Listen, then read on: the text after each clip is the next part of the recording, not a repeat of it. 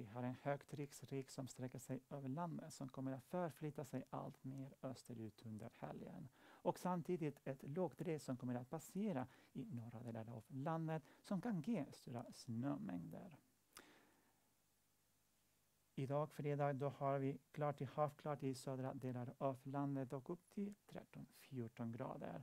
Lite mer moln i mellersta Norrland men ganska soligt i norra Norrland med upp till 9 grader. Natt mot imorgon lördag då kan bildas en del dis och dimma, Svealand och Götaland som luckras upp under morgonen. Och mitt på dagen lite mer ökad molnighet i södra delar av landet, mellersta Norrland och ganska soligt i norra delar av eh, Norrland. Men sen under eftermiddagen och kvällen molnigheten kommer att börja öka på grund av lågtrycket som närmar sig västerifrån.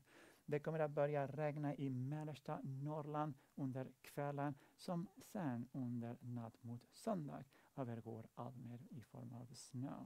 Snö kommer att fortsätta i norra Norrland och under söndag morgonen då kan väntas stora snömängder och upp till 2-3 grader. I södra delar av landet då är det fortsatt 12-13 grader och växlande molnighet.